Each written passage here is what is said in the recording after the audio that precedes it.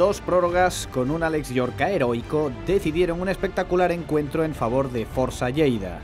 Los 29 puntazos del escolta meten a los catalanes en playoff tras imponerse a un Peñas Huesca que tuvo la victoria en su mano. Hasta de 12 puntos se fueron los oscenses en el segundo periodo, con Grigonis y Oriola como ejecutores.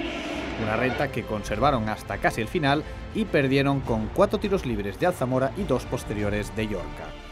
La primera prórroga no dilucidó el ganador por culpa de un triple de Decobos. En el segundo tiempo extra, Lleida se fue de 5 y sentenció desde el tiro libre un trabajado y agónico triunfo.